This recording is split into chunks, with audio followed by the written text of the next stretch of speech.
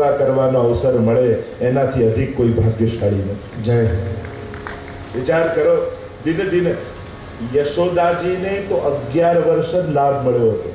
અગિયાર વર્ષ બાવન દિવસ બિરાજ્યા ને. પણ મહાપ્રભુજીએ તમારા ઉપર કેવી કૃપા કરી કે તમારા માથે તો પચાસ પચાસ વર્ષથી સેવા બિરાજે છે. એટલે યશોદાજી કરતા મોટું સૌભાગ્ય મહાપ્રભુજીને ગુસાઈજીએ તમને આપ્યું જય છે એમને તો અગિયાર વર્ષ બાવન દિવસ જ લાભ મળે પણ મહાપ્રભુની કૃપા જો તમારે ત્યાં બબ્બે ત્રણ ત્રણ પેઢીઓ છે ઠાકોરજી બિરાજે છે. આવો લાભ તો વ્રજભક્તોને નતો મળ્યો. એટલે જ કહ્યું, યહ અવસર હુતે જે મહાભાગ્યવાન. અબજો ભઈ, સો કબહુ ન ભઈ. એટલે જ કહ્યું. કે આ હવે જે કલયુગમાં થયું ને, એવું તો સતયુગ ત્રેતા દ્વાપરમાં ક્યારે થયું નતું? આવો લાભ તો ભક્તોને ક્યારે મળ્યો નતો? જે કલયુગમાં મળી ગયો. અને એટલા માટે તમારા ભક્તો એમ કહે કે આ કલયુગમાં જે લાભ મળ્યો છે, એ બીજા કોઈ યુગમાં ભક્તોને આવો લાભ નથી મળ્યો, કારણ કે આવો અવતાર નથી થયો. આ સૌભાગ્ય સુંદરી મળી ધવલ ગાય જો ઉત્સવ આવે ને એટલે સહજમાં ગાન આવે. પુષ્ટિ માર્ગમાં તો રાગ, ભોગ અને શૃંગાર ત્રણેય વસ્તુ છે. એક વસ્તુ યાદ રાખો, તમારો દીકરો હોય ને તમારું નાનકડું બાળક. એમની આગળ લતા મંગેશકરની સીડી વગાડશો ને તોય રડશે. પણ માં એસુરું ગાતી હશે ને તો એ સાંભળીને સૂઈ જશે. એટલે ન આવડતું હોય ગાતા યા અવાજ ખરાબ હોય, બિલકુલ ચિંતા કરતા નહીં. તમારા ઠાકોરજીને તમારો જ અવાજ ગમે છે. એટલે જરાય ચિંતા કરવી હા, ઘરના લોકો થોડા હેરાન થાય, વાંધો નહીં. એમને એમ થાય કે, બા, દરવાજો બંધ કરીને ગાઓ. એમને ભલે પણ તમારા ઠાકોરજીને સૌથી વધારે કોઈ ગમતો હોય તો તમારો અવાજ. ભલે તમને ના ગમતો હોય ઠાકોરજીને ગમે અને એટલા માટે જરા ચિંતા કરવી જો ઉત્તમ થઈને નથી કોઈ આવતું, કરતા કરતા શીખાય છે. ઘણા લોકો એટલે નથી કે અમને સેવા આવડતી નથી એટલે કરતા નથી. લો કેવું રોંગ લોજિક કહેવાય? આવડતી નથી એટલે કરો તો આવડે ને. સર્વોત્તમજી અમને આવડતો નથી એટલે પાઠ કરતા નથી. કેટલો રોંગ લોજિક કરો તો આવડે કે એવું થશે કે એકવાર સવારે તમે ઉઠશો એટલે બોલતા બોલતા ઉઠવાના. એવો ચમત્કાર થશે? એની રાહ જોઈને બેઠા છો? ના, કરશો તો આવડશે. અને જલ્દી શીખવું હોય તો મારી પાસે ઉપાય છે. બે વાર વધારે કરવાનો. તો જલ્દી આવડી જાય. સાવ સરળ લોજિક છે. તમે ગણો છો ઊંધું. વિચારો છો ઊંધું. અમને આવડી જાય પછી કરીએ. આવું ના હોય. કરતા કરતા આવડે. શીખતા શીખતા શીખી જવાય. એટલે એટલા માટે જરાય ગભરાવું નહીં. ઠાકોરજીથી ડર પહેલા કાઢી નાખો. તમારા જ છે ઠાકોરજી, આપણા જ છે પ્રભુ. બીક નહીં રાખો, વિવેક રાખો. સેવકા નામ યથા લોકે વ્યવહાર. એ વ્યવહારનો વિવેક છે. ભય નહીં રાખવાનો. ઠાકોરજી બગાડી દેશે ને અપરાધ થશે, માફ હવે, શ્રાપ આપી દેશે. લોકો કેવા ડરેલા હોય. અને લોકો ડરાવે છે જાણી કરીને. પ્રભુનો ભય કાઢો. આપણા જ છે પ્રભુ. અને આ દુનિયામાં સૌથી વધારે આપણને કોઈ પ્રેમ કરનારું હોય ને, તો આપણા ઠાકોરજી છે. તો ઘણીવારમાં છે ને, બાળકને નવડાવતી ને તૈયાર કરતી હોય ને, તો એની જ બંગડીથી એના બાળકને વાગી જાય. ઘણીવાર માની જ બંગડીથી વાગી જાય. તો રડતું રડતું બાળક માના જ ખોળે આવે, બીજે ના જાય. એમ કદાચ કંઈક અપરાધ થઈ ગયો ને, તો એ રડતા રડતા તમારા જ ખોળે આવવાના, બીજે ક્યાંય નથી જવાના. એ તમારાથી કઈ ખીજાવાના નથી. એટલે ડર કાઢી નાખો, એ તમારા જ છે. ભય નીકળશે ને તો આનંદ આવશે. તો સહજમાં રાજભોગ અને શૃંગાર આપણે ત્યાં તો જેવા ઉત્સવ, એવા કીર્તન, એવા ગાન, આપણે ત્યાં તો રૂપા પોરિયાદીનો પ્રસંગ આવે છે કે ઠાકોરજી એવું બેસુરું ગાતા, તો ઠાકોરજી હું તો વાર્તા સમજીને સાંભળતો હતો. એને ભલે લાગે એ ગાય. મને એમ હતું કે વાર્તા કે છે મને, એટલે હું સુઈ જતો. તો આપણા પ્રભુ તો બધું અનુકૂળ કરી લે છે. અને એટલા માટે આ સૌભાગ્ય સુંદરી મળી ધવલ ગાય, ધોળ ગાઈ રહ્યા છે. આપણે ત્યાં જેટલું કીર્તનનું મહત્વ છે ને, એટલું ધોળનું બી મહત્વ છે. ઘણી વાર એવું થાય, કીર્તન ગાનારાઓ ધોળથી નફરત કરે. આ બધું ધોળવળ શું ગાવ? હા, આધુનિક ગમે તેવા ન ગાઈએ. પણ આપણા પ્રાચીન હરિરાયજી બનાવેલા, એમના વહુજીએ બનાવેલા, પ્રાચીન વહુજી બેટીજીઓ બનાવેલા, કેવા સુંદર સુંદર ધોળ છે આપણે તો તો આપણે ત્યાં ધોળપદનું પણ એક વિશેષ મહાત્મ્ય છે. એને પણ ન્યૂન્ય નહીં જાણે. કાલે જ એક જગ્યાએ કહી રહ્યો હતો આપણે વધારે સેવા કરતા હોય ને જે, એને ઓછી સેવા કરનારને નાનો નહીં ગણવો. હા, આ બધા તો મિશ્રી વાળા અમે તો સખડી વાળા એવું ક્યારે પણ ઓછી સેવા કરનાર પ્રત્યે હીન ભાવ નહીં લાગવો. આ બહુ મોટો અપરાધ છે. આધ્યાત્મિક દોષ છે. તમારે ઠાકોરજીએ કૃપા કરી છે ને તમે સખડી ભોગ ધરો છો બહુ ઉત્તમ વાત છે.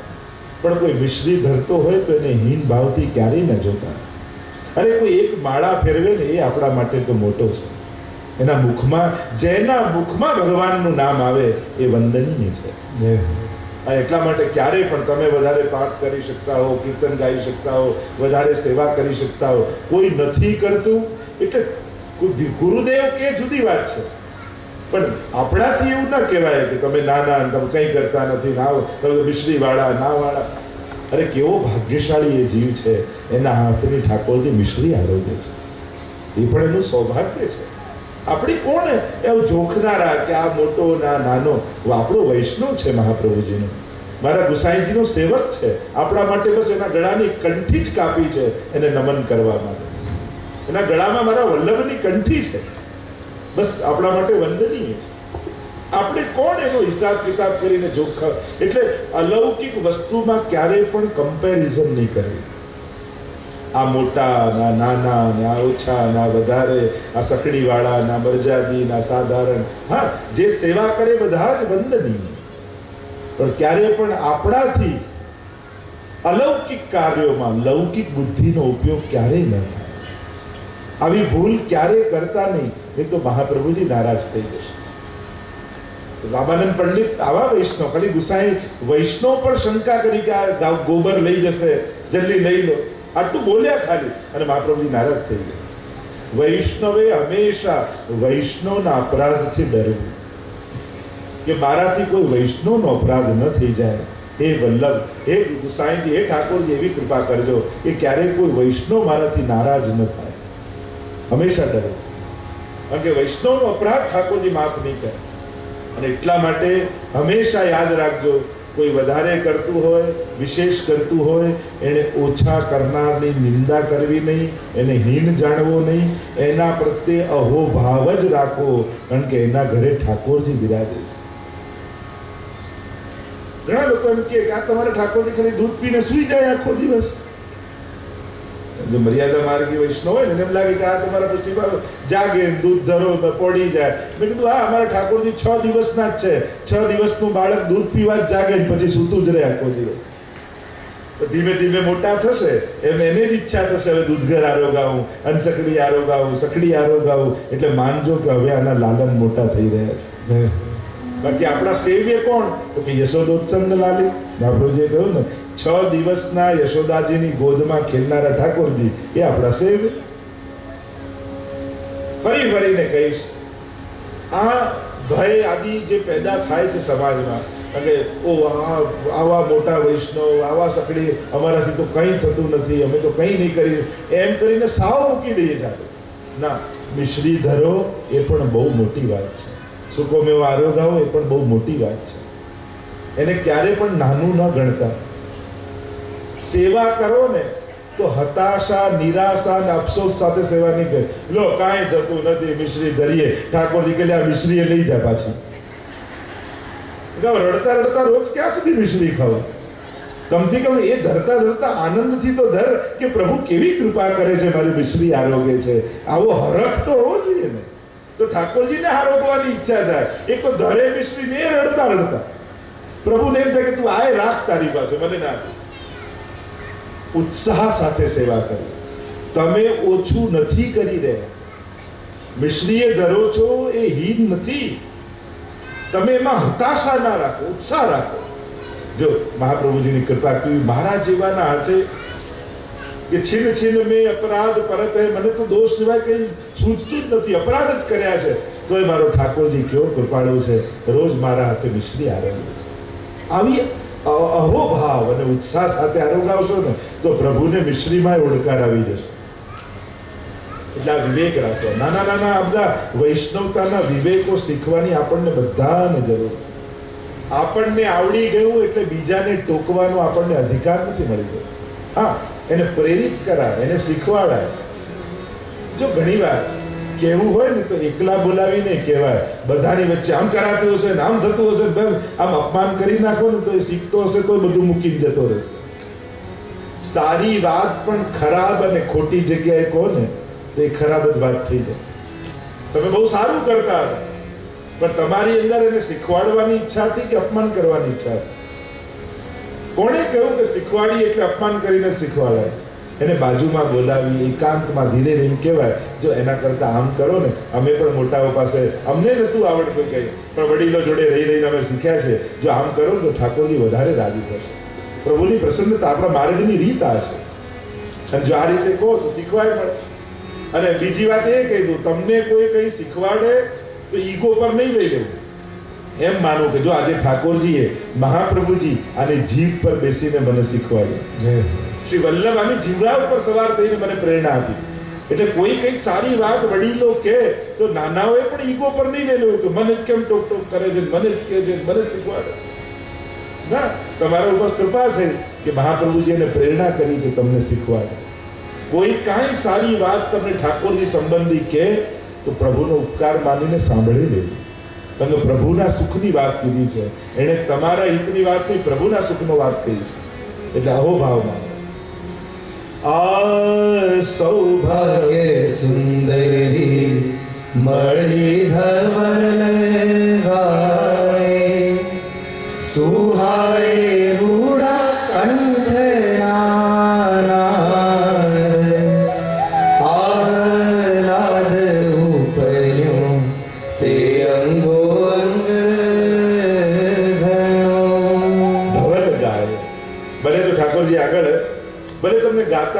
ન આવડતું કીર્તન વાંચો. પ્રભુ, આગળ વાંચો કીર્તન. પુસ્તકો છે, ભલે તમને ગાતા ના આવડે, પણ મંગળા સમયના તો એના વાંચો. વાંચતા વાંચતા ક્યારેક ગાતા પણ થઈ ગયું પણ ક્યારેક સારું ગાઈશ, આવું વિચાર કરીને પુસ્તક જ નહીં ખોરો તો ક્યારે ગાતા નહીં થાય અને એટલા માટે શરૂ કરો. મારે ઠાકોરજી રાજી થાય એ રીતે સેવા કરવી છે. બે વસ્તુ છે. એ કેમ છે કે મને આ ગાવા મજા આવે એટલે હું તો આ જ ગાઉં.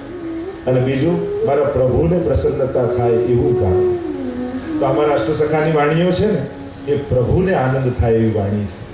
અને એટલા માટે એ ગાશો ને તો ઠાકોરજી બહુ રાજી થશે. પ્રયાસ કરજો, કોશિશ કરજો. કેમ ના આવડે? બધું શીખી જઈએ છે બધું ગાતા, બધું કરતા આવડી જાય. કરતા કરતા બધું શીખી જાય. પ્રયાસ શરૂ તો કરો. આહલાદ ઉપન્યો તે અંગો અંગ ગણો રોમ રોમમાં આહલાદ થવા લાગ્યો. અમારા ઠાકોરજી પધાર્યા છે, અમારા પ્રભુ પધાર્યા છે અને એનું વર્ણન કરતા આગળ ગોપાલદાસ ગાન કરે સુતી કા સુહામણું શોભારુડી લે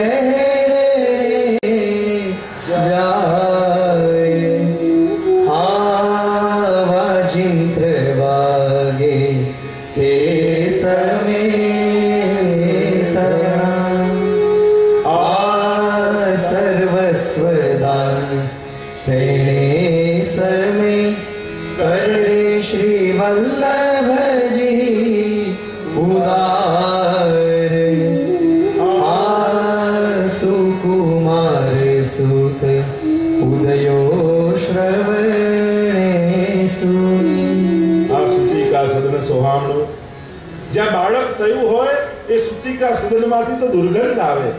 પણ તો શોભા રૂડી લહેરડે જાય. ત્યાંથી મંદ મંદ શીતળ સુંદર સુગંધ વાઈ રહી. પૂર્ણ પુરુષોત્તમ પ્રગટ થયા છે. પૂર્ણ આનંદ પ્રગટ થયા છે. ચારે બાજુ સુગંધ વ્યાપી છે. આ વાજિંત્ર વાગે તે સમય રેતના અને મંગલ વાદ્યો વાગી રહ્યા છે. જો આપણે ત્યાં ઉત્સવ હોય ને, ત્યારે ઉત્સવમાં કેવા પ્રકારનો માહોલ, આ બધા ઉદ્દીપન ભાવ છે. જ્યારે એનો ઉત્સવ હોય, ત્યારે સૌથી પહેલા તો મનમાં આહલાદ હોય, આનંદ હોવો જોઈએ. આજે ઠાકોરજીનો આ ઉત્સવ છે. ટેન્શન અને ચિંતા નો લો, આ ઉત્સવ આવ્યો વહેલા જાગવું પડશે, સામગ્રી કરવી પડશે આટલો બધો ક્રમ કેમ પહોંચાય, આને ઉત્સવ ના કહેવાય. ઉત્સાહથી જે થાય એનું નામ ઉત્સવ. સૌથી પહેલા ઉત્સાહ. કાલે આ ઉત્સવ આવવાનો છે. એટલે પહેલેથી હરખ મનમાં થઈ જાય. પછી ધવલ ધના શ્રી ગાય ધવલ ધોળ આદિ પદ ગવાય. એટલે જ્યારે જાગીએ ને ત્યારથી એ ઉત્સવના મંગલ ગાન મુખમાં ચાલતા રહે. અરે આજે ઠાકોરજીનો પ્રાગટ્ય ઉત્સવ. આજે આમ કરીશું, આ રીતે ગાન કરીશું, આવા વૈષ્ણવને બોલાવીશું. એટલે મંગલ ગાન થાય. આપણે ત્યાં દિલ્હી માંડવામાં આવે, તોરણ બાંધવામાં આવે, મંગલ વાદ્યો વગાડવામાં આવે. આ બધા સૂચક ચિહ્નો છે. અને ચંદન આદિનો છંટકાવ થાય. તો આ બધા જ વર્ણન આ જ્યારે ઉત્સવ હોય, ત્યારે આ ઉદ્દીપન વિભાવ રૂપ છે. ઉદ્દીપન, આને કારણે અહોભાવ, આનંદ અને ઉત્સાહ જાગે. તો વર્ણન અહીંયા કર્યું છે. સુતિકા સદનમાંથી સુગંધ વાઈ રહી છે અને વાજિંદ્ર વાગે તે સમય, આ સર્વસ્વ દાન તેણે સમય કરે રે શ્રી વલ્લભજી ઉદાર. અને પ્રભુ પ્રગટ થયા છે, એટલે મહાપ્રભુજી ઉદાર મને મહામના જે નંદ બાબા માટે લખ્યું ને, કે આજે નંદ બાબા મહામના બન્યા છે અને ખૂબ દાન કરી રહ્યા છે, એમ શ્રી મહાપ્રભુજી પણ દાન બ્રાહ્મણોને કરે છે. ઉત્સવમાં છ વસ્તુ હોય, ખાન, પાન, તાન, ગાન, માન અને દાન. યાદ રહી ગયું બધા ખાન, પાન, તાન, ગાન, માન, દાન. આ વસ્તુ ભેગી થાય ત્યારે ઉત્સવમાં. તો દાન કરી રહ્યા છે, એટલે જ્યારે પણ સારો પ્રસંગ આવે, ત્યારે બ્રાહ્મણોને કંઈક દાન આપે. તેણે સમય કરે રે શ્રી વલ્લભજી ઉદાર, આ સુકુમાર સુત ઉદયો. શ્રવણે સુની. અને જ્યારે મહાપ્રભુજી સાંભળ્યું કે લાલનનું પ્રાગટ્ય થયું છે, પ્રભુ પધાર્યા છે. સુકુમાર આચાર્ય એનો અર્થ કર્યો, સુ એટલે દેવતા, કુ એટલે પૃથ્વી, મા એટલે લક્ષ્મી, આ ત્રણેય જે આનંદ આપવા વાળા છે, એવા સુકુમાર સુત ઉદયો, શ્રવણે સુની. ઉદયો પ્રગટ્યા છે. જન્મ નથી, પ્રાગટ્ય છે. જેમ ઠાકોરજીનું પ્રાગટ્ય કહી છે, એમ શ્રી ગુસાઈજી પણ પ્રગટ્યા છે. પ્રગટ્યા પરમ દયાળ. આ તો અલૌકિક પ્રાગટ્ય છે, એમ કહીને ગોપાલદાસ આગળ વર્ણન કરતા બોલ્યા. કોણ કોણ રાજી થયું પ્રાગટ્યથી? આ પાતાળે શેષ નાગ. લીજિયા ઉપર ઇન્દ્રાદિક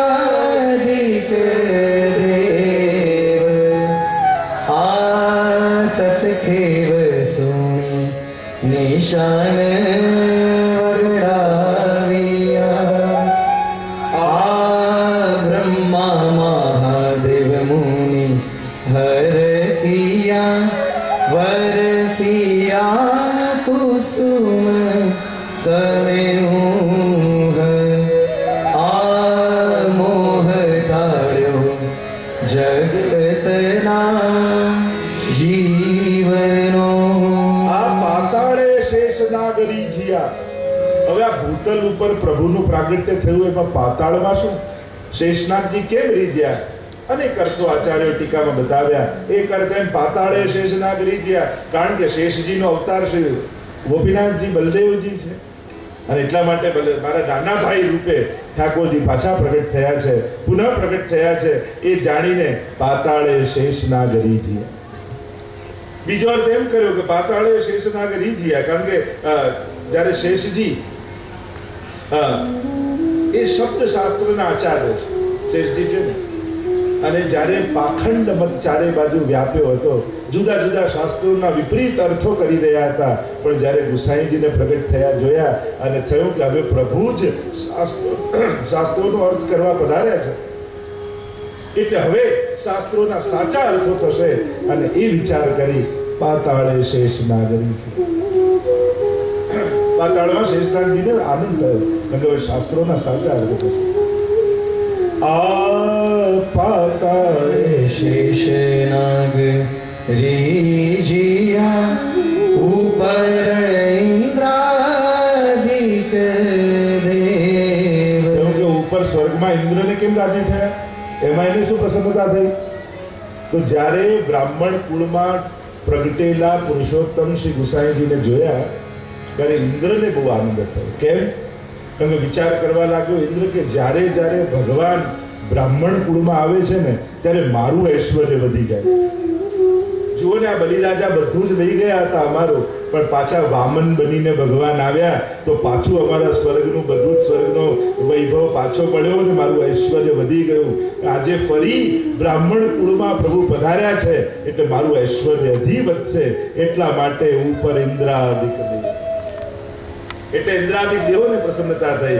આ બ્રહ્મા, મહાદેવ, મુનિ, હરખિયા, વરખિયા, કુસુમ સમૂહ, આ મોહ ટાળ્યો જગતના જીવન. બ્રહ્માજી પ્રસન્ન થયા, મહાદેવજી પ્રસન્ન થયા. કુસુમનો વર્ષા કરવા લાગ્યા, પુષ્પ વર્ષા કરવા લાગ્યા અને જગતના જીવનો દ્વંદ ટાળ્યો છે અને આગળ વર્ણન કરતા. આ સિદ્ધ ગંધર્વ ગુણી અપ્સરા ઉલટિયા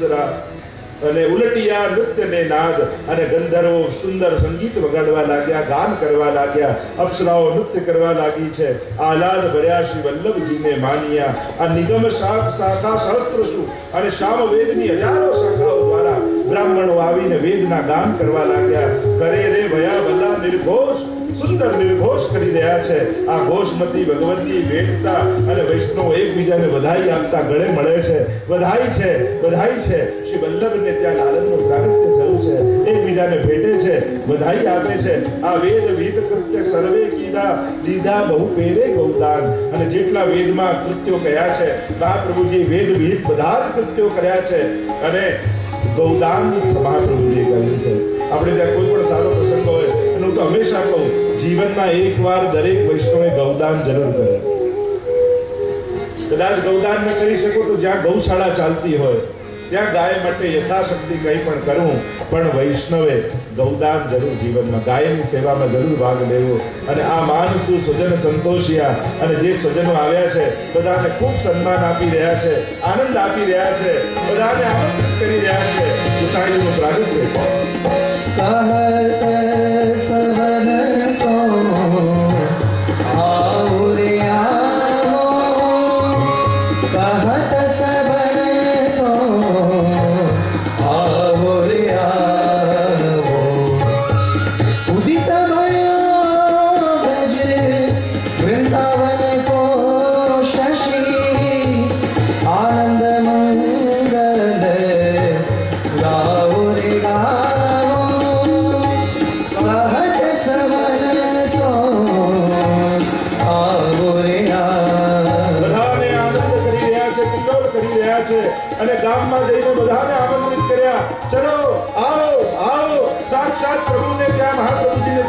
ત્યાં નંદ પ્રગટ થયા છે અને વધાઈ આપી રહ્યા છે.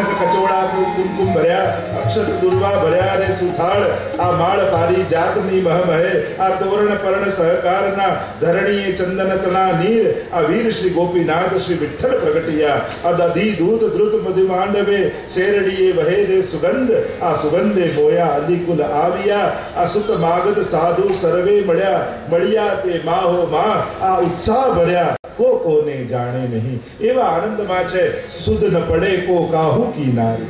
વ્રજ ભયો વહેર કે પૂત. जब ये बात सुनी आनंदे सब लोग गावत गणित गुनी ચારે બાજુ એવો આનંદ વ્યાપ્યો છે આ સુખદેવ સબળ આનંદિયા સુખદેવજીને કોને કોને આનંદ થયો કેવા સુત માગત બંદી જન સાધુ આદિ બધા જ આવી રહ્યા છે કોણ આવ્યું તો કે સુખદેવજી આવ્યા આ સુખદેવ સબળ આનંદિયા વંદિયા શ્રી વલ્લભજીના ચરણ અને મહાપ્રભુજીને આવીને વધાઈ આપી આ ગિરિધરણ શ્રી ભાગવત મારું નિરખશે.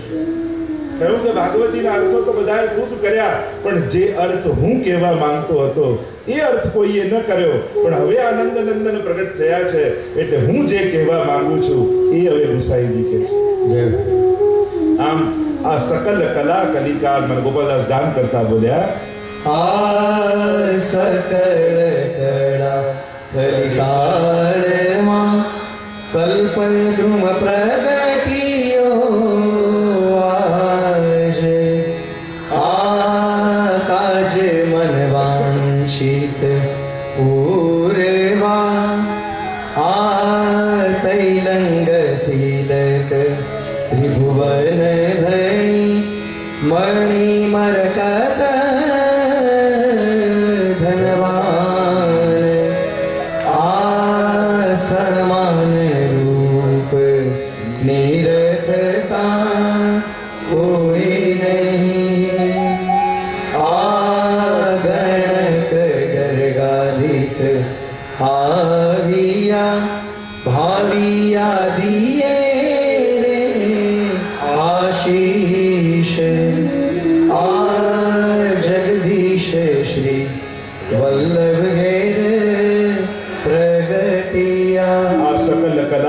કલા કલિકાલમાં કલ્પ ધ્રુમ પ્રગતિઓ આ છે.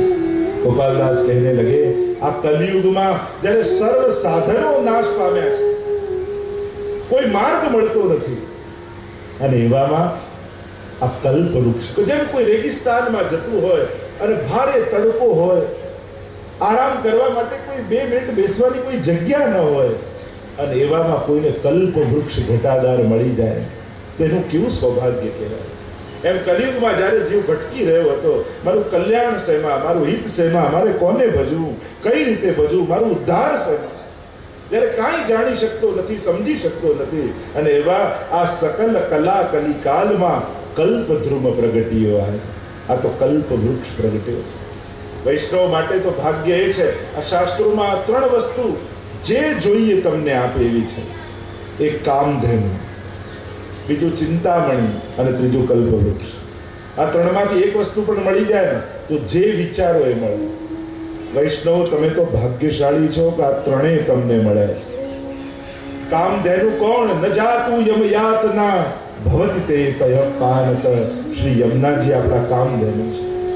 ત્યાં રક્ત ધાતુ ગિરિરાજે રે. શ્રી ગિરિરાજ બાબા આપણા ચિંતામણી છે. અને શ્રી મહાપ્રભુજી ને ગુસાઈજી આપણા માટે કલ્પ વૃક્ષ છે કે એની છાયામાં બેસી જે વિચારો એ સકળા મનોરથો તમારા પૂરા કરે.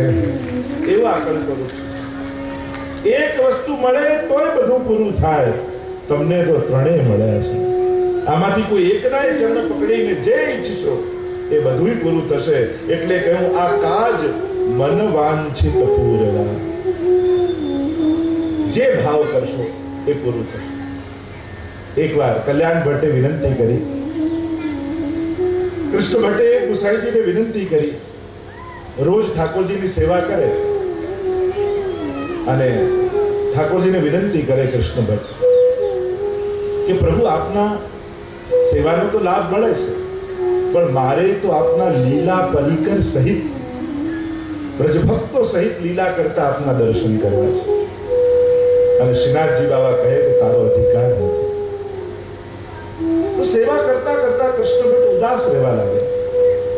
ગુસાઈજીની દ્રષ્ટિ પડી અને કહ્યું, પ્રભુનો દાસ અને ઉદાસ, આમ તમારું મુખ કેમ પડ્યું છે? ઉદાસ કેમ છે? ત્યારે હવે હાથ જોડીને વિનંતી કરી કે, પ્રભુ, મારો મનોરથ પૂરો કરતા નથી.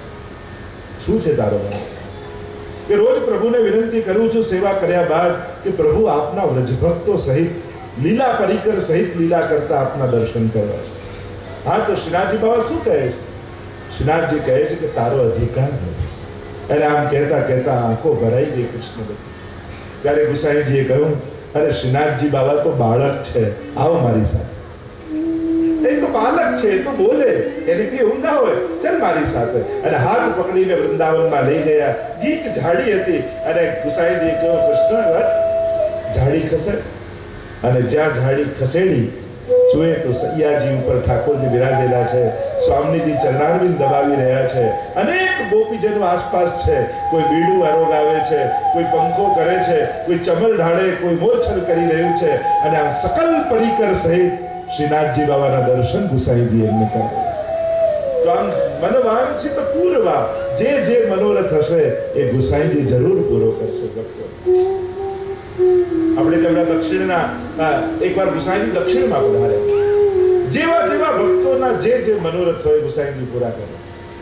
કારણ પધાર્યા છે ભક્તોના મનોરથો પૂરા કરવા. એટલે ગોપાલદાસજી કહ્યું, આ કાજ મન વાંછિત પૂરવા. કેમ પધાર્યા? કે ભક્તોના મનોરથો પૂરા કરવા માટે બીજું કોઈ સમર્થ નથી. કારણ કે જો વસ્તુ જોઈતી હોત ને, તો દુનિયામાં આપનારા ઘણાય છે. જો એને સંસાર અને લૌકિક વસ્તુ જોઈતી હોત તો ઘણા બધાની ઉપાસનાથી મળી શકે છે આ બધું. પણ ભક્તોને જોઈએ છે પ્રભુ વ્રજ ભક્તો પ્રભુની લીલા પ્રભુનું વ્રજ એ કોઈ આપવા પ્રભુ સિવાય સમર્થ નથી. એ કેવલ શ્રી વલ્લભ અને ગુસાઈજી આપી શકે છે. એટલે કાજ મન વાંછિત પૂરવા. ગુસાઈજી એકવાર દક્ષિણ પધારે. અને ત્યાં સુંદર કથા કહી રહ્યા છે ગુસાઈ કથાનો પ્રસંગ નીકળ્યો છે. આવનીનો પ્રસંગ ગોસાઈજી વર્ણન કરી રહ્યા છે. અને બધા વૈષ્ણવ બેઠા છે. એક યુવાન પાછળ આવીને બેઠો છે અને ગુસાઈજીની વાણીમાં મોહિત થયો છે. એવી મન લાગી ગયું વાણીમાં. અને ગુસાઈજી વર્ણન કરવા જાય પછી કઈ બાકી રહે. એકવાર વર્ણન કરી રહ્યા હતા યુગલ ગીતની કથાનું. અને ગોવિંદ સ્વામીને બાળકો પૂછવા છે કઈ કથા? આજે અદ્ભુત યુગલ ગીતની કથા કરી. ત્યારે કહ્યું કે પોતાની કથા પોતે કરવા બેઠા હોય તો પછી બાકી શું રાખે? અને અહીંયા ગુસાઈજી એટલું સુંદર વર્ણન આવનીનું કરી રહ્યા છે કે ઠાકોરજી સાયંકાલ થયો અને વ્રજ ભક્તોને તાપ થયો. આવો મેરે ગોવિંદ, ગોકુલ કે ચંદા. આખા દિવસનો વિરહ વ્રજ ભક્તોને થયો. યશોદાજી, નંદ બાબા વ્રજ ભક્તોને તાપ થયો છે. પ્રભુ પાછા ક્યારે ગોકુલ પધારશો? સવારથી આ વનમાં પધાર્યા છે. ઠાકોરજીને થયો હવે પાછા જવાનો સમય થયો. કદંબના વૃક્ષ ઉપર ચડી ગયા પ્રભુ. અધર પર વેણું પધરાવીને ઠાકોરજીએ વેણુનો નાદ કર્યો. અને વેણુનો નાદ આખા વનમાં વ્યાપ્યો. દૂર દૂર ચરતી ગાયોના કાન ઊંચા થઈ ગયા.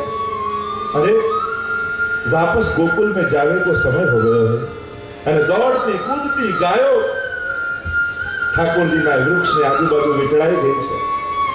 ઠાકોરજી વૃક્ષ પરથી નીચે ઉતર્યા અને વેણુના સ્વર ભરતા ભરતા આગે ગાય, પાછે ગાય હિત ગાય ઉત ગાય, યો યો, અટક અટક ચરાવતા ગાયોને લઈ અને ઠાકોરજી પધારી રહ્યા છે ગોકુલ પર. મોટી મોટી ગાયો સોનાના સિંગડાઓ છે. ગળામાં સોનાની ઘંટડીઓ વાગી રહી છે. દોવાનું જે દોરડું હોય નોંધણું એ ઠાકોરજી મસ્તક પર બાંધી દીધું છે. આંબાના મોહર લઈને ખોસી દીધા છે. મોરપીચ લઈને મસ્તક પર ખોસ્યા છે. ગુંગરાળા કેસ છે. ગોરજથી મંડિત થયેલું પ્રભુનું શ્રીઅંગ છે. અને ગાયોને હંકારતા હંકારતા પ્રભુ ગોકુલ તરફ આવી રહ્યા છે.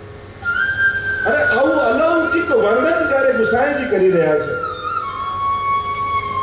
મુક્ત થઈ ગયું એ યુવાનનું મન.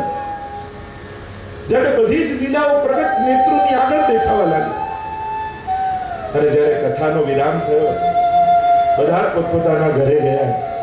ત્યારે યુવાન આવ્યો ગુસાઈજીના ચરણોમાં દંડવત કર્યા અને કહ્યું, જયરાજ, શું આ લીલા આજે પણ થાય છે? ગુસાઈજીએ કહ્યું, હા, પ્રભુની લીલાઓ તો નિત્ય છે. આજે પણ રોજ ઠાકોરજી વનરાવનમાંથી ગાયો ચરાવતા ચરાવતા ગોકુલ પધારે છે. આ લીલા ક્યાં થાય છે? કે જાઓ વૃંદાવન. શું મને દર્શન થશે આ લીલા? ગુસાઈજી કહે, હા, તારો ભાવ સાચો હશે તો ઠાકોરજી તને જરૂર દર્શન આપશે. મારા તને આશીર્વાદ છે. અને આને તો એવી તત્પરતા લાગી કે મારે તો આ લીલાના દર્શન કરો અને ગુસાઈજીએ કહ્યું છે, તો મને ઠાકોરજી જરૂર દર્શન આપશે. ગયો બ્રજમાં અને ગોકુલના પાદરે જ્યાંથી વૃંદાવન શરૂ થતું હતું, ત્યાં જઈને બેસી ગયો સાંજ પડશે ને ઠાકોરજી આવશે. પ્રભુની એ મોટી મોટી ગાયો, પ્રભુનો એ વેણુ નાદ, એ ગાયોના બાંધ ગળામાં બાંધેલી ઘંટડીનો એ મધુર સ્વર. અને વેણુ નાદ કરતા કરતા પ્રભુ જરૂર કદાચ સાંજ વીતી, રાત થઈ ગઈ. બીજા દિવસની સવાર પડી, ના તો ટગર ટગર વનની સામે જોયા કરે કે, મને ગુસાઈજીએ મને કહ્યું છે, ઠાકોરજી મને જરૂર દર્શન આપશે. ભૂખ્યો તરસ્યો, એક હટ લઈને બેઠો છે. મને ઠાકોરજીના ગાયો ચારતા ચારતા દર્શન કરવા છે. આખો દિવસ ગયો, બીજો દિવસ. રાત વીતી ગઈ. ત્રીજો દિવસ ગયો. ત્રણ ત્રણ દિવસ ભૂખ્યો, તરસ્યો, બેઠો રહ્યો. અને ત્રીજા દિવસની સાંજ પડી છે. ઠાકોરજીને ચિંતા થઈ. આ ભોળો વૈષ્ણવ ગુસાઈજી તો આજ્ઞા કરી કે હા, આજે પણ લીલા થાય છે. અને પેલા વૈષ્ણવને એવો ભરોસો ગુસાઈજીએ કહ્યું તો જરૂર દર્શન થશે. વાંક ગુસાઈજીનો નથી, એમણે તો વાત સાચી કહી. વાંક ભક્તનો નથી, એ તો ભરોસે બેઠો છે. પણ જો મેં દર્શન ના આપ્યા, તો મારો વાંક ચોક્કસ. અને જ્યાં સાંજ પડી, દૂરથી પ્રભુનો વેણુનો નાદ સંભળાય. ઊભો થઈ ગયો આ વૈષ્ણવ. અરે આ તો એ સ્વર છે જે ગુસાઈજી વર્ણન કરી રહ્યા હતા. અને ભુગાડામાં બાંધેલી ઘંટડીઓના નાદ આવ્યા તન તન તન તન. અને મોટી મોટી છ છ ફૂટ ઊંચી નંદ બાબાની ધોળી સફેદ ગાયો, જેના પર સોનાના સિંગડા છે. સોનાની ઘંટડી ગળામાં બાંધેલી છે. ઠાકોરજીએ કુમકુમના થાપા લગાવ્યા છે. માથે મોરપીચ બાંધ્યા છે. એવી મોટી મોટી ગાયોના ઝુંડના ઝુંડ વૃંદાવનથી ગોકુલ તરફ આવવાના. ગાયોની છે. આખું રજથી મંડિત થયું છે વાતાવરણ કઈ દેખાતું નથી. અને પેલો વૈષ્ણવ તો ઊભો થઈ ગયો. હમણાં ગાયો ઘસશે ને મને ઠાકોરજીના દર્શન થશે. અને જ્યાં ગાયો હટી ત્યાં સાક્ષાત નંદ નંદનના વેણુ નાદ કરતા દર્શન ચોધાર આંસુએ રડવા લાગ્યો આ વૈષ્ણવ. અરે ગુસાઈજીની કેવી કૃપા થઈ? મારો મનોરથ ગુસાઈજીએ પૂરો કર્યો. આ તો ગુસાઈજીની કૃપા છે. કેવલ દર્શન નહીં એ તો સાક્ષાત અનુભવ કરાવે. અને ગાયો બાજુમાંથી નીકળી એટલામાં ઠાકોરજી નિકટમાં પધારે.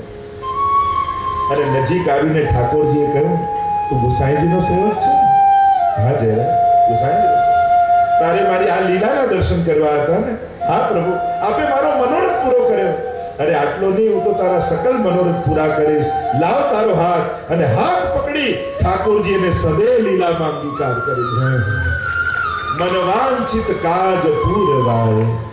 આ ભક્તોના સકલ મનોરથો પૂરા કરવા શ્રી ગુસાઈજી ભૂતલ પર અને આગળ વર્ણન કરતા ગોપાલદાસ કહે આધવન ધના શ્રી ગણ જે કરે ઉચરે શ્રી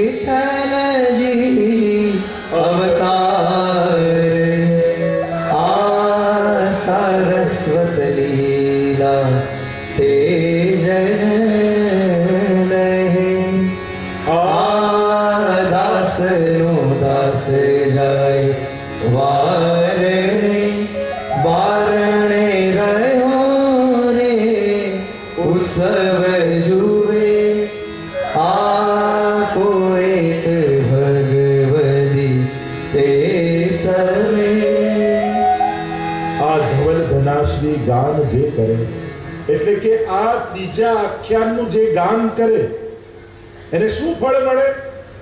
તો કહ્યું ઉચ્ચરે રે શ્રી વિઠ્ઠલ અવતાર.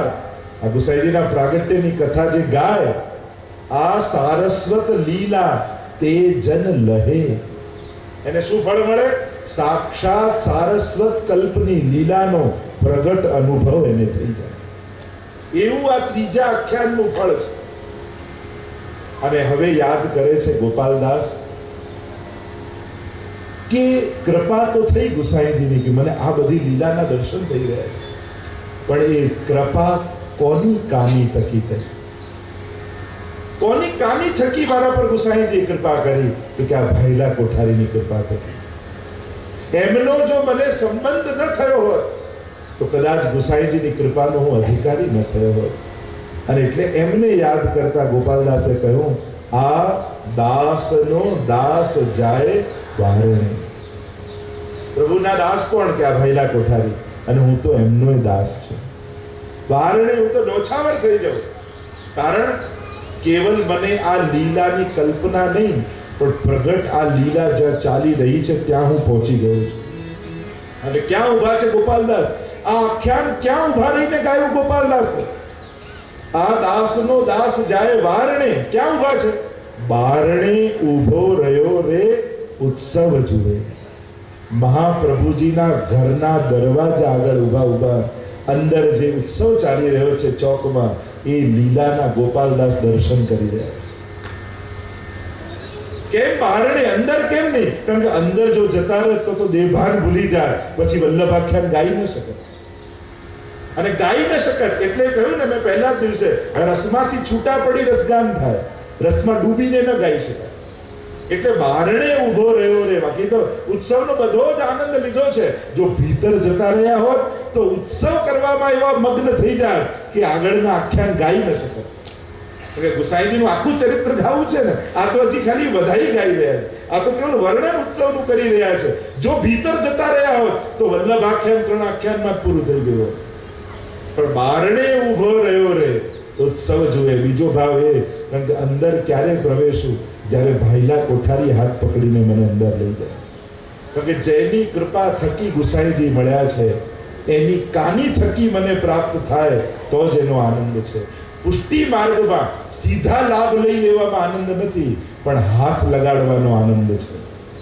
અહીંયા હું જારી ભરું, હું આરતી કરું, હું આ કરું, એમ જાતે કરવાનો આગ્રહ નહીં પણ બધા કરે અને હું હાથ લગાડું. કારણ કે હું તો અધિકારી નથી, પણ જેને હાથ લગાડ્યો, એની કાનીથી મને લાભ મળી જશે. એની કાનીથી મારી કણિકા મહાપ્રભુજી આરોગી લેશે. આવો ભાવ પુષ્ટિ માર્ગનો અને એટલા માટે જેટલા પાછળ રહો ને, એટલી કાની વધારે. તમારી આગળ જો દસ જણા હોય, પંદર જણા હોય, આની કાની નહીં તો આની કાનીથી, આની નહીં તો આની કાની, આની નહીં તો આની કાનીથી. હું જાતે કરું એવો આગ્રહ પુષ્ટિ માર્ગમાં નથી. કોના હાથે જારી ભરાય? સીધી સાદી ભાષામાં કહું ને, તો જે હાથને ઠાકોરજી ઓળખતા હોય ને, એના હાથે જારી ભરાય. એટલે કે જેના હાથ વધારે સેવામાં પહોંચતા હોય ને, એ હાથને ઠાકોરજી ઓળખતા હોય છે. અને એના હાથે ભરો ને, તો ઠાકોરજી પ્રેમથી આરોગે, અને પ્રેમથી આરોગે તો રંચક સેવા તમારી એ પહોંચી જાય. પણ બધાને ધક્કો મારીને હું ભરી આવું. જારી ભરાશે, પણ તમે ખાલી રહી જશો. જારી તો ભરાઈ, પણ તમે ખાલી રહી ગયા. અને જે આગળ ગયો, એની જારી તો માટલીમાં લઈને પધરાવીને મૂકી પાછી માટલીમાં પાછી માટલીમાં. પણ જે છેલ્લી ભરે ને, એની જારી જે રહી જાય. બાકી બધાની માટલીમાં જાય. એટલે ઘણીવાર આગળ પહોંચી જઈએ છે, પણ નજીક જતા આપણને નથી આવડતું. ધક્કો મારીને આગળ જવાય, પણ નજીક ન જવાય. નિકટતા તો દૂર રહીને પણ સંપાદિત થઈ શકે કે મારા થકી બધાને લાભ મળે. આવો જ્યારે ભાવ આવે ને, ત્યારે તમે ઠાકોરજીની બહુ નજીક પહોંચી જાઓ. એટલે આગળ જવાનો આગ્રહ ન રાખો, નિકટ જવાનો કોશિશ કરો. પ્રભુની નિકટતા પામવાનો પ્રયાસ કરો. બસ આટલું ગણિત શીખી જશો ને ભક્તિ માર્ગનું, તો પછી આનંદ માણી શકે. તો દાસનો દાસ જાય વારણે, બારણે ઊભો રહ્યો રે, ઉત્સવ જોવે. કો એક ભગવદીએ તે સમયે કોઈ એક ભાગ્યવંત તે સમયે અનેક થોડા પાઠ્યાંતર ભેદ પણ છે, કોઈ એક ભાગ્યવંત એમ પણ એક લેખમાં છે, અને કોઈ ભગવતી સમય કે એ સમયે હું આ દર્શન કરી રહ્યો છું, એવો આનંદ ગોપાલદાસ માણી રહ્યા છે. અને આમ કરી તૃતીય આખ્યાનને આપણે વિરામ આપીએ, ચતુર્થ આખ્યાનમાં પ્રયાસ પ્ર- પ્રવેશ કરીએ, કારણ કે આપણી પાસે દિવસો ઓછા છે, નવ આખ્યાન મારે ગાવા છે, એટલે તૃતીય આખ્યાનને વિરામ કરીએ, અને આનું ફળ એ છે કે આ જો ગાશો રોજ સાક્ષાત સારસ્વત કલ્પની લીલાનો અનુભવ તમને થશે. એવો પ્રભાવ આ વાણીનો છે. ગોપાલદાસની ગુસાઈજીની આ વાણી છે. તો આ આખ્યાનને વિરામ આપતા બોલો ગુસાઈજી, પરમ આ ચોથું આખ્યાન એ સાક્ષાત ભાગવતજી છે. તમને બતાવીશ કઈ રીતે આ ભાગવતજી છે. જેમ ભાગવતજીના બાર સ્કંદ. એમ અહીંયા તેર ટૂંક છે. એકમાં મહાત્મ્ય અને બીજો બારે બાર સ્કંદ રૂપ. આ એક એક ટૂંકો છે. એટલે કે ચોથા આખ્યાનના પાઠ કરવા માત્રથી તમને સાક્ષાત ભાગવતજીના પારાયણનું પુણ્ય પ્રાપ્ત થાય. એમ આપણા ટીકાકાર આચાર્યોએ સમજાવ્યું છે. જો તમારે સમજવું હોય તો તમને સૌથી પહેલા એ સમજાવી દો, પછી ગાન કરી આપણી આ બારે બાર સ્કંદની ગાથા જે ભાગવતજીમાં વર્ણિત છે, એનું વર્ણન આ ચોથા આખ્યાનમાં કર્યું છે. ચોથા આખ્યાનમાં તમે જોવા જાઓ, તો જે બારે બાર સ્કંદોમાં વર્ણન છે, એ સમગ્ર વર્ણન તમને આ ચોથા આખ્યાનની એક એક ટૂંકમાં દેખાશે. જેમ તમે જુઓ ચોથું આખ્યાન ગાઓ તમને પહેલા બારે સ્કંદો સાથેની સરખામણી સમજાવી દઉં. બધા હાથમાં પુસ્તક રાખજો એટલે તમે વધારે સમજી શકો. જેમ છેલ્લી ટૂંક જુઓ તેરમી સ્કંદ સંખ્યા એ હજાર પદસાર માહે સાર? ભાગવતજીમાં બાર સ્કંદ છે, એટલે અહીંયા બાર ટૂંકમાં એ કથા કહી. સ્કંદ સંખ્યા એ કયા પદ સાર માએ સાર. સારના એ સાર? એટલે ભાગવતજીનો બારે બાર સ્કંધોનો સાર આ ઉપરની બાર ટૂંકોમાં આપી દીધો છે. તો પહેલી, પહેલું સ્કંદ એટલે શ્રીનાથજી બાબાનું જમણું છે અધિકાર લીલા. અને એટલા માટે અહીંયા કહ્યું કે જીવનો ટાળ્યો દ્વંદ્વજી. જો પ્રથમ સ્કંદમાં કઈ કથા આવે?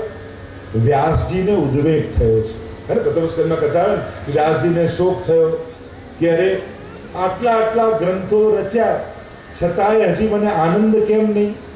એટલે એ સ્કંદનું સૂચન આપ્યું કે અહીંયા કહ્યું જીવનો ટાળ્યો દ્વંદ્વજી. એ જે દ્વંદ્વ વ્યાસજીનો હતો, એ ટાળ્યો નારદજી આવીને. અને જગમાં વ્યાપ્યો મુખ મકરંદજી મુખ મકરંદ એટલે કે વ્યાસજીએ જ્યારે નારદજી મળ્યા અને ભાગવતજીનો ઉપદેશ કર્યો અને પછી વ્યાસજીએ ભાગવતજીની રચના કરી અને પ્રભુના ભગવતા પ્રોક્તમ ભાગવતમ.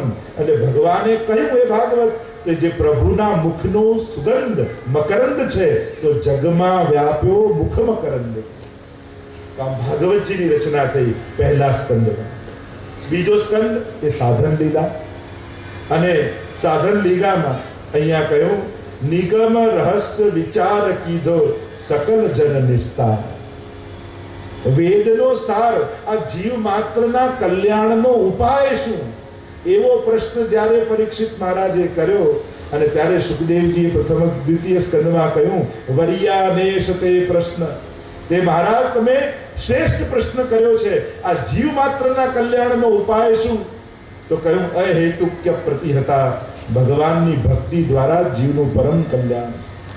એમ દ્વિતીય સ્કંદમાં સુખદેવજી બોલ્યા છે. અને એટલા માટે અહીંયા એના સૂચન રૂપે આ દ્વિતીય સ્કંદ છે બીજી ટૂંક. એટલે કહ્યું, નિગમ રહસ્ય વિચાર કીધો, સકલ જન નિસ્તાર આ સમસ્ત જીવોનું કલ્યાણ એ વેદના સાર રૂપે ભગવાનની ભક્તિમાં જ છે. બાકી તો શ્રમ એ વહી કેવલમ.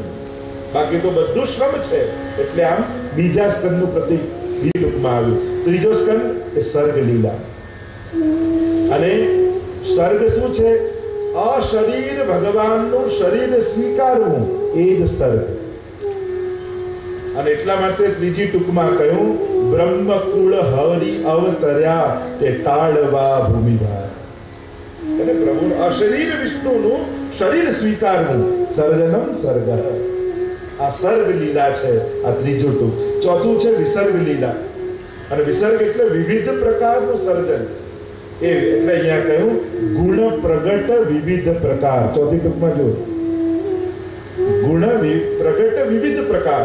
તો એમ, એ ચોથા સંદ એટલે વિસર્ગ લીલા. વિવિધ પ્રકારનું સર્જન, વિવિધ ગુણોનું સર્જન.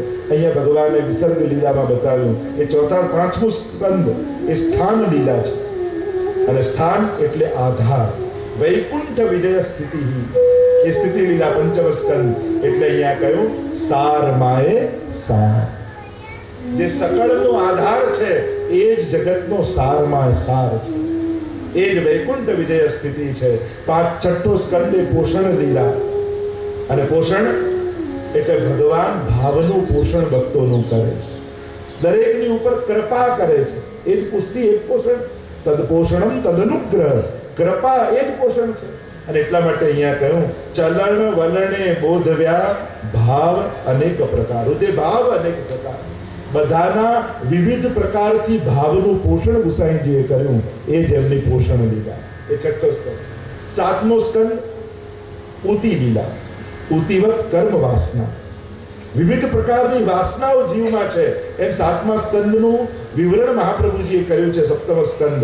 એટલે અહીંયા કહ્યું, મુખ સુગંધે મોયા, અલી સકળતે, આવી કરે રે ઝંકાર.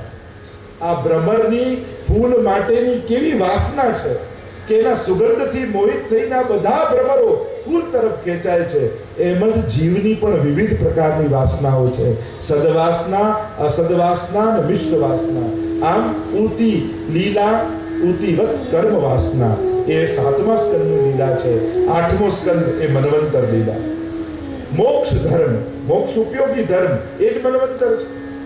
અને એટલા માટે અહીંયા કહ્યું, ભુજદંડ પરસે ભય હર્યા, એવા નાથ અમિત ઉદાર કારણ ધર્મ દ્વારા અભયતા પ્રાપ્ત થાય અને સ્વયં ગુસાઈજી ભુજદંડ પરસે પોતાનો હસ્ત મસ્તક પર પધરાવી, એના સકલ ધર્મોને સિદ્ધ કરી, એને એને નિર્ભય બનાવે છે. એવા કૃપાળુ છે તો આ મોક્ષ ઉપયોગી ધર્મ એ આઠમો સ્કંદ, આઠમી ટૂંક, નવમો સ્કંદ ઈશાનુ કથા.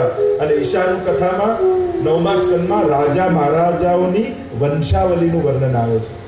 કે આ વંશ, સૂર્યવંશનું વર્ણન કે ચંદ્રવંશનું વર્ણન, આ વંશાવલી આવે. અને એટલા માટે નવમી ટૂંકમાં તમે જુઓ, કહ્યું રાજ કાજે જોડિયા ઉચ્ચા વચ નર નાય.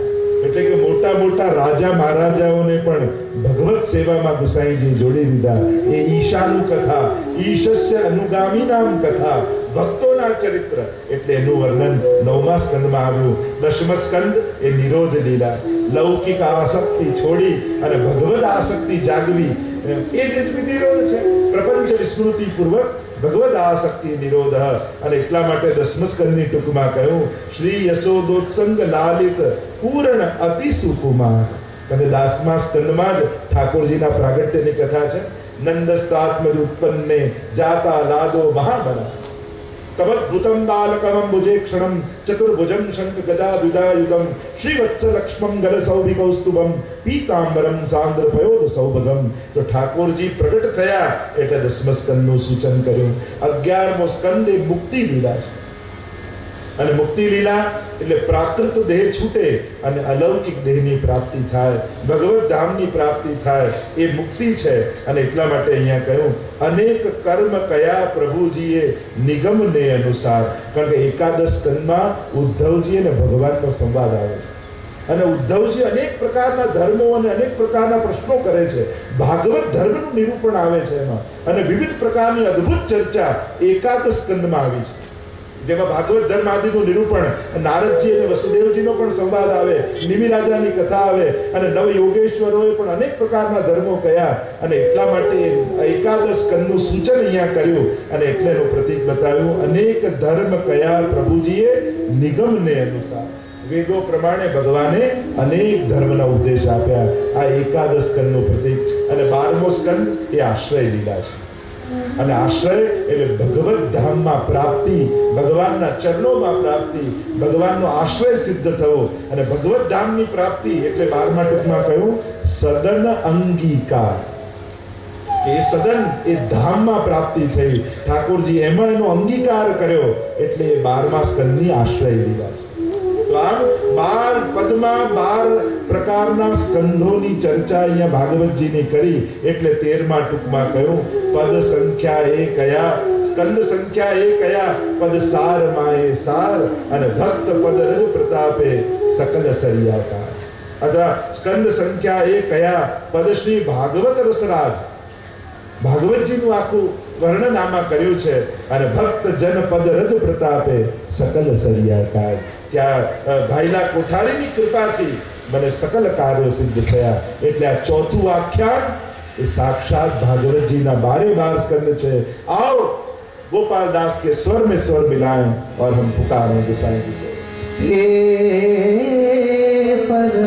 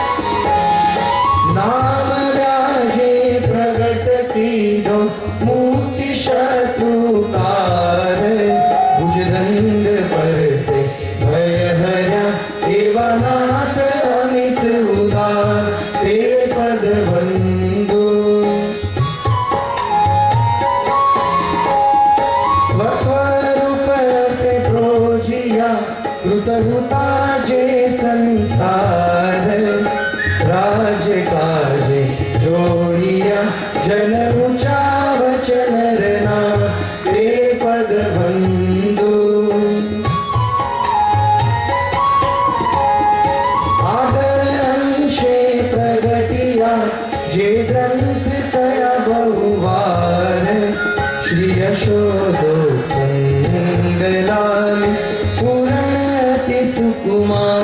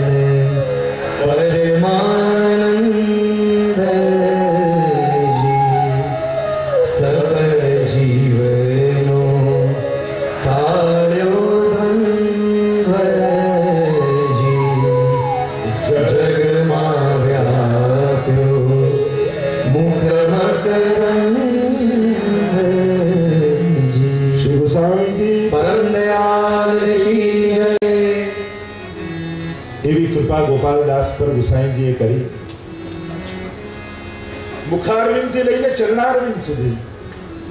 મેં પહેલા જેમ કહ્યું હતું, અનેક પ્રકાર માધ્યમથી કૃપા પ્રભુ કરે. એ નેત્રોથી હોય, મુખારવિંદથી હોય, શ્રીહસ્તથી હોય કે ચરણારવિંદથી હોય. એ ચરણારવિંદની કૃપાનો અહેસાસ ગોપાલદાસ કરી રહ્યા છે. અત્યારે શરૂઆત તો મુખારવિંદમાં પોતાનું ચરવિત તાંબુલ મૂકીને મુખારવિંદની કૃપા કરી. પણ હવે ગોપાલદાસની દ્રષ્ટિ ગઈ ચરણારવિંદ તરફ. પ્રભુના મુખારવિંદની મહત્તા છે અને ગુરુના ચરણારવિંદની મહત્તા છે. અજ્ઞાન તિમિરાંધસ્ય જ્ઞાનાંજન શલાકયા, ચક્ષુરુન્મિલિતમ યેન તસ્મૈ શ્રી ગુરવે નમઃ. આપના ચરણ અને એના પર તો કેટલી ગાથા ગાઈ શકાય. ચરણારવિંદના ચિહ્નો, જો એના એક એક ચિહ્નોની ગાથા ગાઈએ, તો કેટલું આખું મહાત્મ્ય ચરણારવિંદ ઉપર આખી કથા થઈ શકે? તમે એક એક ચિહ્નોનું જો ગુણગાન કરો તો. એવા ચરણ શિવલ્લભ પદ બંદો સદા સરસ હોત સબ જ્ઞાન રસિક રટત આનંદ સો કરત સુધાર સુપા એવા શ્રી વલ્લભના ચરણ ગુસાઈજીના ચરણાન માટે એટલે જ હરિરાયજી કહે કે મીન રહત જલ આસરે નિકસત હી મર જાય ત્યોं શ્રી વિઠ્ઠલ નાથ કે ચરણ કમલ ચિતલા જય જેમ માછલી જલથી બહાર કાઢો ને તડપીને મરી જાય, એમ ભગવદી વૈષ્ણવને જ્યારે વલ્લભના ચરણથી દૂર કરો ને તે પણ જળના વગર માછલી જેમ તડપે, એમ ચરણારવિંદથી દૂર થઈ ભગવદીઓ તડપે છે. કે અમને વલ્લભના ચરણ નથી દેખ મળતા. ચરણનો આશ્રય અમારો છૂટી ગયો છે. એવી ચરણારવિંદની આસક્તિ ભક્તોને છે. એટલે તો છેલ્લું સર્વોત્તમ સ્તોત્રનું નામ કહ્યું. અશેષ ભક્ત સંપ્રાર્થ ચરણાબ્જ રજો ધન. આ બધા વૈષ્ણવનો વૈભવ શું છે? વલ્લભના ચરણોની રજ છે ને, એ જ જેનું સર્વસ્વ ધન છે, એવા વલ્લભના સેવકો છે. જેના માટે વલ્લભના ચરણની રજ જ સર્વસ્વ ધન છે. એવા સેવાયેલા શ્રી મહાપ્રભુ છે. તે પદ બંધુ જો અત્યાર સુધી ત્રીજા આખ્યાનમાં આ આ આ થતું હવે ચોથા આખ્યાનમાં થયું તે કયા પદ? અહીંયા ગોપાલદાસે બંને રૂપે ગુસાઈજીને ગાયા છે. ઘણી જગ્યાએ ગુરુ રૂપે ગાતા ગાતા ગાતા યાદ આવી જાય. આ તો નંદ, નંદન રૂપે રાસ, લીલા કરી. એટલે ઠાકોરજી રૂપે પણ ગાયા અને ગુરુ રૂપે પણ ગાયા બંને રૂપે દાન છે વલ્લભાખ્યાનના ગુસાઈ એટલે તો છઠ્ઠા આખ્યાનમાં તમે જુઓ. છેલ્લે છેલ્લે છઠ્ઠા આખ્યાનમાં જ્યારે ગાય, ઠાકોરજી વંતી પધાર્યા અને સકળ વ્રજમાં સકળ વ્રજમાં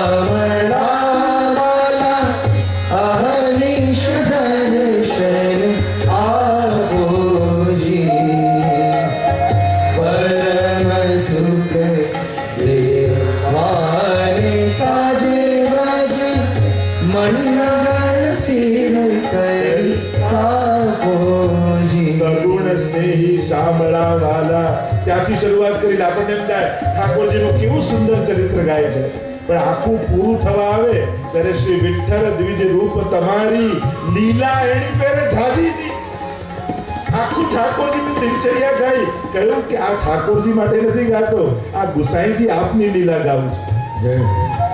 લીલા એની પેરે ઝાઝીજી ઓળવીએ કેમ ચાલશે જે પ્રીત અમસુ માજીજી. તો પ્રભુ રૂપે શરૂઆત કરી એટલે આપણને થાય કે ઠાકોરજીનું ચરિત્ર ગાય છે અને ગાતા ગાતા વિરામ થાય એટલે કહી દે, એ ગુસાઈજી આપની આવી તો અનેક લીલાઓ છે. બંનેને સૂર કહા કહે દ્વિધ આંધરો બિના અમોલકો ચહેરો. જેને પ્રભુ અને વલ્લભમાં ભેદ ન દેખાય, એ જ સાચો વૈષ્ણવ છે. આપણે કહેતો હરિરાયજી શિક્ષાપત્રમાં કહે છે કે આસુરી કોણ? જે શ્રીજી અને વલ્લભમાં ભેદ જાણે ને આસુરી છે. વાત ચાલી તો એ પણ વધારી તમને આપી દઉં કે આજ બાવીસ તારીખથી સાત દિવસ માટે તમારી નજીક દાહોદમાં શિક્ષાપત્ર ઉપર સાત દિવસ કથા થવાની છે. તો આ આજ બાવીસ તારીખથી, એટલે ત્રણ વાગ્યાથી સાત વાગ્યા સુધી આ દિવ્ય ગાથા શિક્ષાપત્ર શ્રી હરિરાય મહાપ્રભુજીના એ દિવ્ય એકતાલીસ પદો, અદ્ભુત ચરિત્ર જેમાં અદ્ભુત ઉપદેશો વૈષ્ણવ જીવનના આપણને શ્રી હરિરાય મહાપ્રભુજી આપ્યા છે. તો આપની નજીક જ છે. એટલે એવી વ્યવસ્થા કરજો કે અને ચિત પરિચિત લોકોને સમાચાર આપી દેજો કે બાવીસ તારીખથી દાહોદમાં દાહોદના વૈષ્ણવતી તમને આમંત્રણ આપું છું. એ લોકો કહી ગયા છે, બધાને આમંત્રિત કરી દેજો તો આ બધાને આમંત્રણ છે એ શિક્ષાપત્રનું રસકા રસપાન કરવા માટે આ બધા જ જરૂર આવજો. તો આ શ્રી હરિરાય મહાપ્રભાના ગોપાલદાસ આદિ શ્રીજી અને પ્રભુમાં ક્યારે ભેદ જાણ્યો જ નથી, જોયો જ નથી. એટલે તો રામદાસ જ્યારે મીરાબાઈને ત્યાં ગયા ને કહ્યું, ઠાકોરજીના પદ ગાઓ. અને વલ્લભનું પદ ગાયું. કહ્યું કરે ઠાકોરજીનું મેં કહ્યું છે, તો નારાજ થઈ ગયા. શું શ્રીજીને અને વલ્લભને જુદા કરીને જાણો છો? અમારે તો આ જ પ્રભુ છે. અભેદ જાણે. ન્યારો દેખતો તો ન્યારો ગાતો. સુરદાસજીને કહ્યું કે સવા લાખ પદ ઠાકોરજીના લખ્યા, મહાપ્રભુજીનો એકે ન લખ્યું. સુરદાસ હસી પડ્યા ને કહ્યું, મેં તો વલ્લભના જ પદ ગાયા છે, ખાલી નામ ઠાકોરજીનું ધર્યું છે. મેં તો ભેદ જોયો જ નથી. દ્વિવિધ આંધળો જેને બે નથી દેખાતા એવો આંધળો છે. આંખ ભલે બે હોય, પણ જુએ છે તો એક જ વસ્તુ. બે આંખ જુએ છે એક જ, એનું દ્રશ્ય એક જ છે. એમ જ આંખ શ્રીજીને મહાપ્રભુ રૂપે હોય, પણ આપણે તો બંનેને એક કરીને જાણવાનું. આમ તે પદ વંદો શ્રી વલ્લભ નંદજી કોના ચરણ બધું? એ શ્રી વલ્લભ નંદન જે છે ને, એમના. કેમ? કારણ ત્રિભુવન મંગલ પરમાનંદજી. એ તો ત્રિભુવનનું મંગલ કરનારા ચરણારવિંદ છે. પરમાનંદનું દાન આપનારા ચરણારવિંદ છે. સકલ જીવનો ટાળ્યો દ્વંદ્વજી અને જેણે આ ચરણનો આશ્રય કર્યો છે એના બધા જ દ્વંદ્વો જતા રહ્યા. સબ દુઃખ દૂર ગયે તુમ દેખત. અર, પરમાનંદ, એટલે કે પરમ આનંદને પાયો છે. તુમ શરણાગત આવ્યો શ્રી વલ્લભ તું શરણાગત હું તમારા શરણે આવ્યો ને બધા દુઃખ ગયા. તુમ શરણાગત આવ્યો શ્રી વલ્લભ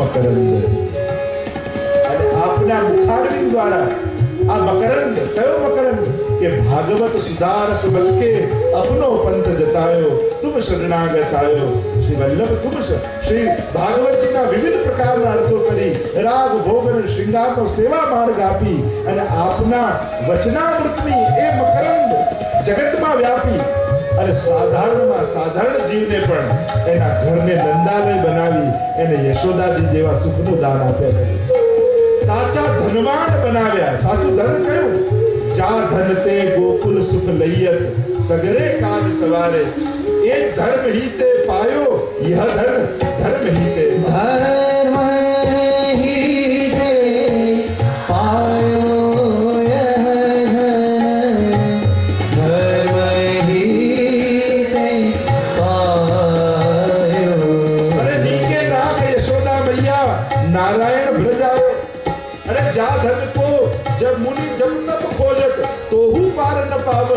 મોટા મોટા દેવતા, ઋષિ, મુનિઓ તપ કરી કરીને થાક્યા તો એમને અધરામૃતની કણિકા ન મળી. બ્રહ્માજી માછલું બનીને આવ્યા કે પ્રભુ હાથ ધોવા યમુનાજીમાં આવશે ને, તો અધરામૃત લઈ લઈશ. માછલું બનીને આવ્યા. ઠાકોરજી જોઈ ગયા કે બ્રહ્માજી આવ્યા છે અને પોતાનું પિતાંબર સખાઓને આપીને કહ્યું, આજે કોઈ હાથ ધોવા ન જતા તો અમારા પિતાંબરથી લૂછી દે અને અમારા રસખાનજીએ જોયું કે કાગ કે ભાગ કહા કહીએ હરી હાથ સો લઈ ગયો માખને રોટી જે દેવતાઓને ન મળ્યું એ વ્રજના કાગડાઓ લઈ ગયા ભાગ્યશાળી છો તમે લોકો જે બ્રહ્માજીને નહોતું મળ્યું એ રોજ સવારે તમને પ્રભુની અધરામૃતની મિશ્રી મળે છે. તો તમારા જેવું ભાગ્ય બીજા કોઈ જા ધનતે ગોકુલ સુખ લઈએ સગરે કાગ સવારે. અને ધન કયું છે? આપણા ઘરે બિરાજતા ઠાકોરજી, એ જ આપણું ધન છે. કારણ કે એનાથી જ આપણને વ્રજનું સુખ મળવાનું છે. પ્રભુ ઘરે પધરાવવા એટલે કેવલ પ્રભુની સેવા જ નહીં, પણ વ્રજવાસીનું સુખ લેવું એનું નામ સેવા છે. વ્રજ ભક્તોનો આનંદ લેવો એનું નામ સેવા છે. એ સેવા, એ આનંદ. જગમાં વ્યાપ્યો મુખ મકરંદથી અને મહાપ્રભુજીને ગુસાઈજીની વાણીનું મકરંદ જગમાં વ્યાપ્યું. અને ભાગવતજીના એવા સુંદર સુંદર અર્થો પ્રગટ કર્યા કે લોકો રસમત્ત બની ગયા આનંદિત થઈ ગયા અને સૌથી વધારે આનંદ સ્વયં ઠાકોરજીને થયો. એમ કહી અને આપણે અહીંયા આ વિરામ તરફ જઈ ગયા આજે નંદ મહોત્સવનો આનંદ લેવાનો છે. એટલે આજની કથાને વિરામ આપતા બોલો ગોવર્ધન. નાથ કી જય. વલ્લભાધીશ જય. બધા જ નંદ મહોત્સવના આનંદમાં મગ્ન થઈ જઈએ. બધા જ આનંદ કિલ્લોલ કરજો. અને અહીંયા મનોરથી પરિવાર આજના મનોરથી હોય એ મંચ પર આવે અને પલ્લું જ્યારે ખોલશે ત્યારે નંદ ઘેરા નંદના ધ્વનિ કરીશું. અમારા કીર્તનકાર હેરી હે નંદરાય કે આનંદ ભયો. આઈએ સાથ મિલકર ગાતે. અને મનોરથી આજના ઉપર આવી ગયા. હેરી હે હરિયા હો.